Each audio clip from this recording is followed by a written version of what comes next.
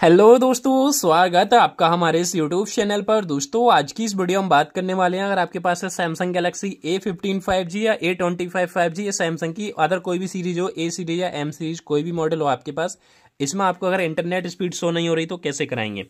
इसी वीडियो में आपको बताएँगे अपने फ़ोन में आप इंटरनेट स्पीड कैसे शो करेंगे। बाई डिफ़ॉल्ट आपको सैमसंग के फ़ोन में ये फीचर नहीं मिलता है इंटरनेट स्पीड शो करने का।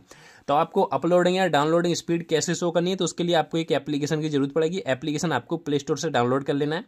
एप्लीकेशन का नाम बताना है, आपको एप्लीकेशन प्ले स्टोर पर मिल जाएगा। नेट स्पीड इंडिकेटर के नाम से मिल जाएगा। प्ले स्टोर पर जाकर सर्च कर देंगे, छोटा सा एप्लीकेशन है। इसे ओपन करेंगे। ओपन करने के बाद जो परमिशन आपसे माँगता है, वो परमिशन दे देंगे।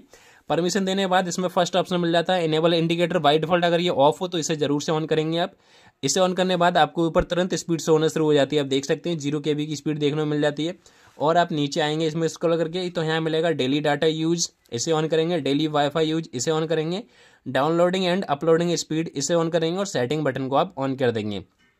ये फीचर ऑन करने के बाद आपके फ़ोन के अंदर इंटरनेट स्पीड आपको ऊपर देखने के लिए मिल रही होगी। यहाँ से देख सकते हैं ऊपर आपको टाइम के बराबर में स्पीड देखने के लिए मिल रही हो। यहाँ से देख सकते हैं ज़ीरो के भी पर सेकंड की आपको स्पीड देखने के लिए मिल रही है। तो इस प्रकार से नेट स्पीड शो करेंगे। बाकी आप नोटिफिकेशन पैनल जब ओपन करेंगे तो डाटा स्पीड वाईफाई और डाउनलोडिंग स्पीड तीनों आपको यहाँ देखने के लिए मिल जाती है। तो इस प्रकार से अपने फ़ोन में आप इंटरनेट स्पीड शो कर सकते हैं। अगर वीडियो अच्छा लगा हो तो लाइक करें शेयर करें और चैनल पर नए हो तो चैनल करें सब्सक्राइब मिलते हैं नेक्स्ट वीडियो में।